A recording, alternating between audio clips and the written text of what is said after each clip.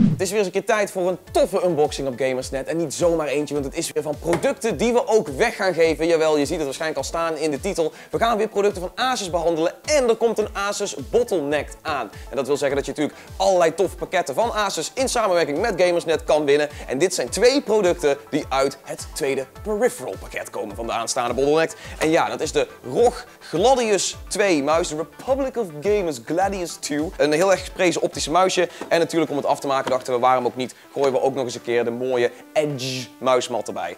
Uh, we, laten we beginnen met het prime piece van deze twee. Dan hebben we het natuurlijk over de muis. En dan moet ik al, allereerst zeggen dat ze al wel mooi over de verpakking na hebben gedacht. Dat is toch altijd wel even interessant om te zien dat je daadwerkelijk ook erin kan kijken. Al in de winkel zie je gewoon daadwerkelijk van, oh, kun je een beetje proberen van, oh, zo ligt hij ongeveer in de hand. Zij het dan een plastic mold ervan. Without further ado, we maken hem open. En dan moet ik wel zeggen, deze pakketjes zijn al een keer opengemaakt. Dus we gaan niet met alle uh, ja, lipjes en dergelijke plasticjes uh, lopen klooien. Al is het wel weer netjes ingepakt. Oké, doos gaat even aan de zijkant, uh, want we halen er een volledig pakketje uit. En ja mensen, dit is dus een optische muis, maar wel eentje die eventueel ook draadloos te gebruiken is. Dus laten we dan eerst even de muis zelf erbij pakken. Die komt er dan zo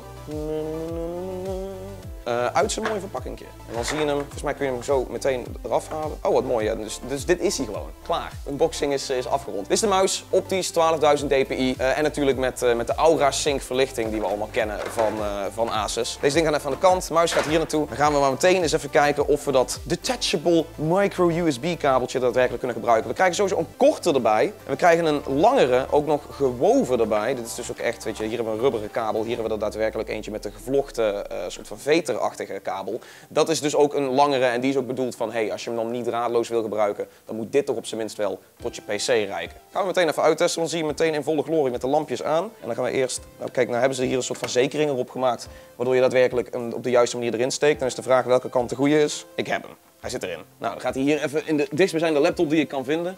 Uh, daar gaan we. En als het goed is, moet hij één deze dagen gaan verlichten. Cue het ongemakkelijke wachtdeuntje.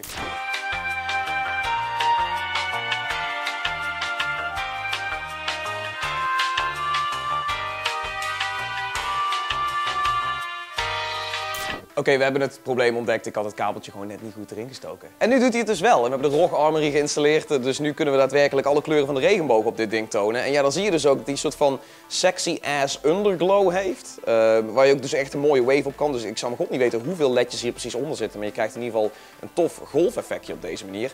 En natuurlijk allerlei verschillende Japanse omron switches die hierin zitten. Zodat hij daadwerkelijk ook lekker klikt. En nou zei ik net wel dat hij draadloos was. Nou ja, de draad kan wel losgekoppeld worden. Hij werkt alleen niet draadloos. Maar je kunt hem dus wel gewoon makkelijk meenemen. Bijvoorbeeld als je naar een landparty gaat, hoef je niet die kabel op te winden. Die haal je gewoon los en vervolgens krijg je mooi dit zakje erbij. En dan kun je daadwerkelijk de muis gewoon zo erin mikken, dichtmaken. Is hij ook weer veilig, mesh, kun je hem zo in je tas mieteren. Super handig, ROG Gladius 2, dat is dat. Natuurlijk, we krijgen er ook nog wat boekjes bij, laten we die even skippen. En natuurlijk nieuwe, nieuwe stukjes, switches en dergelijke. Dat hebben ze wel mooi gedaan met de Gladius 2. Je krijgt er dus daadwerkelijk ook vervangbare elementen bij. En dat schijnt dus ook extra makkelijk, kun je hem openhalen om bepaalde componenten te vervangen. Dus het is een muis die een beetje op de toekomst gebouwd is. Without further ado laten we dan ook nog even snel de mooie muismat erbij pakken. En dan weet je zo al wat ongeveer de helft is van het hele peripheral pakket van Asus Gamersnet Bottleneck. En dit past er natuurlijk weer prachtig bij. Want dit is natuurlijk in dezelfde Republic of Gamers stijl. Shabam! En als je dit zo ziet, dan heb je toch zoiets van...